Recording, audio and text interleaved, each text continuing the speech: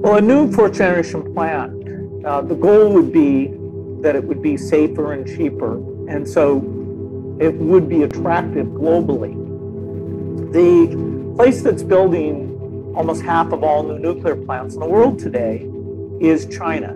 And so, in terms of really understanding new nuclear builds and the benefits of a new design, and be willing uh, to prototype a pilot plant that takes a new approach, China is likely to be the place you see a lot of vision innovation. There's only four reactors being built in the US, and there isn't the same huge budget that there was traditionally for doing ex- experimental type reactors. There's talk about it. You know, I, I hope uh, that that comes through. But today, there's more experimentation with new designs in China than elsewhere.